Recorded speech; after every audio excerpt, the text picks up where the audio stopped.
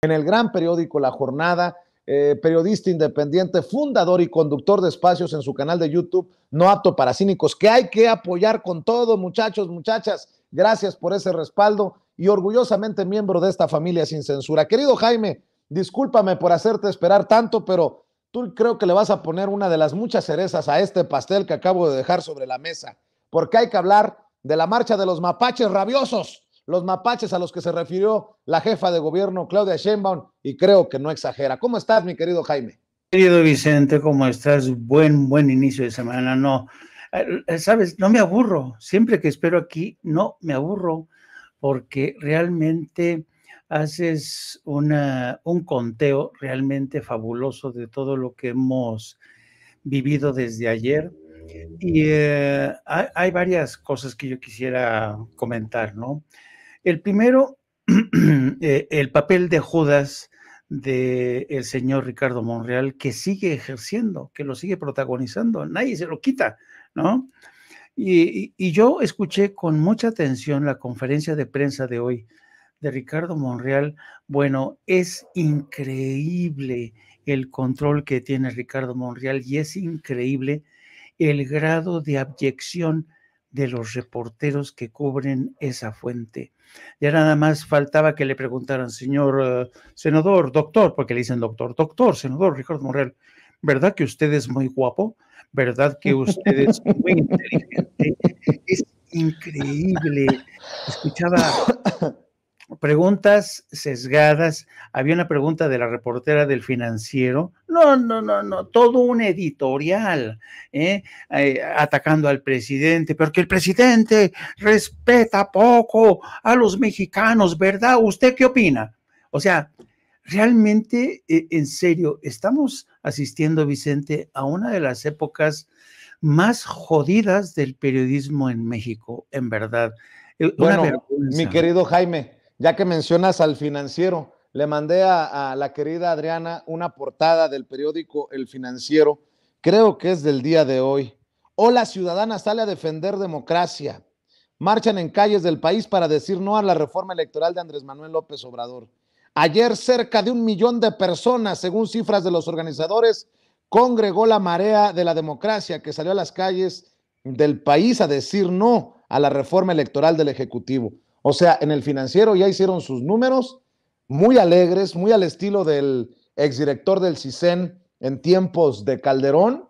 Y no sé si con Google de eh, herramienta hablaban ya de un millón de manifestantes. Pero bueno, de ese tamaño, pues perdón porque mencionabas a la reportera del financiero. No, es que la cobertura del financiero es, Dios mío, francamente deplorable no tiene nada que ver con la realidad. Bueno, y otro elemento, todo el mundo anda con este baile de cifras, que si fueron 12 mil, que si fueron un millón, como dice el financiero, pero yo francamente, de las escenas que vi ayer, me llama la atención el fenómeno del acarreo. Eh, una de las expertas en estas técnicas de acarreo es Lea Limón. Lea Limón es quizá la que más gente acarreó ayer y es vergonzoso realmente ver cómo los señoritos de los señoritongos y las señoritongas del PAN y del PRI siguen utilizando a los jodidos para que les sirvan. ¿Te acuerdas cuando las estas eh, tiendas de campaña de frena que mandaban a sus empleados para que durmieran mientras ellos iban a los hoteles? Haz de cuenta, sigue siendo lo mismo, ¿no? Y es francamente deplorable. Luego, hay, haz de cuenta, el, porque si casi siempre, querido Vicente, cuando se producen este tipo de marchas, ¿no? A lo que les gusta más a Claudio X González, al PRI, al PAN, es que estas marchas tengan un eco internacional. Pues, ¿qué crees? Ni el New York Times ni el Washington Post han publicado nada. De hecho, lo que publica hoy el New York Times a propósito de lo que ocurre en México es que, eh, cuidado, porque los estadounidenses se pueden quedar con la cerveza que importan desde México, porque tú sabes que el México es el principal exportador de cerveza. Entonces, advierten contra el problema de la sequía que ha comenzado a producirse en los estados del norte de México. Y, y, uno dice, bueno, ¿y la marcha? Pues nada, Nada, nada, nada que ver.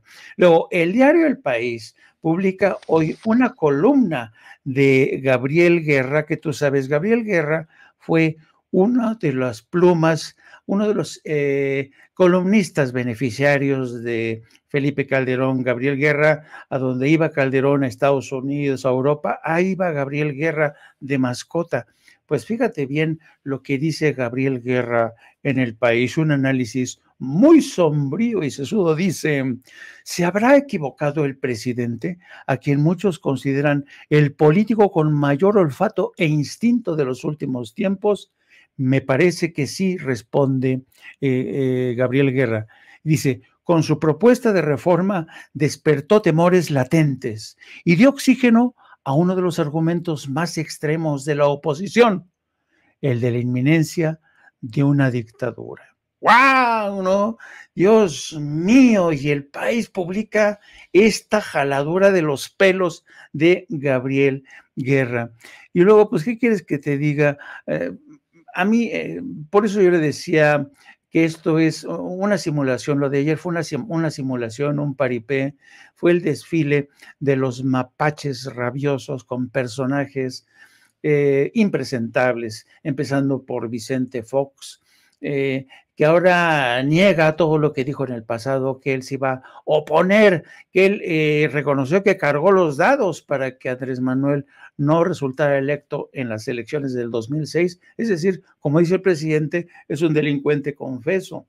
Este desfile de el Bester Gordillo, eh, Javier Lozano, Roberto Madrazo, José Narro, Margarita Zavala y y en una de las conversaciones muy animadas que tuve hoy esta mañana con la gente, nuestra gente en Estados Unidos, estaban encabronadísimos porque dicen, ¿cómo es posible que el Instituto Nacional Electoral, que nos, inaugurado, nos ha ignorado durante más de un siglo, eh, saque a marchar a gente que nos han regateado, que nos han escamoteado el voto desde el extranjero.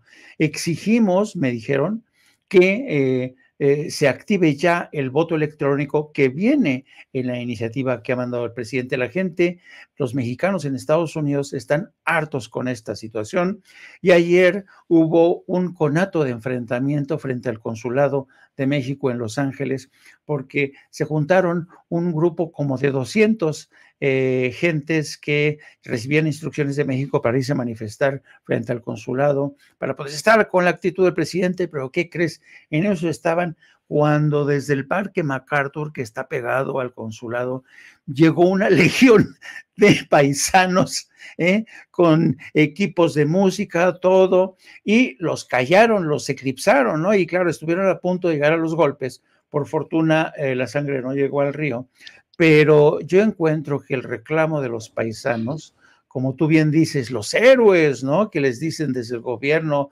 desde Fox, que le decía, todavía le siguen escamoteando a estas alturas el derecho al voto. Así es que yo creo existe un reclamo legítimo de parte de casi 40 millones de mexicanos que viven en Estados Unidos a favor de la reforma migratoria. Existe un reclamo legítimo a favor de los millones de mexicanos que vivimos en México. Cierto que hay un sector de gente que no coincide, pero si te das cuenta en las entrevistas que se realizaron ayer, eh, eh, eh, fue realmente una, una experiencia surrealista porque mientras que uno, una señora alimentaba a la madre al presidente, otros decían, los adeptos de Pedro Ferriz decían que el presidente está poseído por el demonio, venían otros de Cristo Rey. Dices, bueno, ¿qué es esto? No? Oye, dime. Hace unas horas eh, acabamos de confirmar que uno que no fue a la marcha salió peor, se atrevió a más de estos que estás mencionando.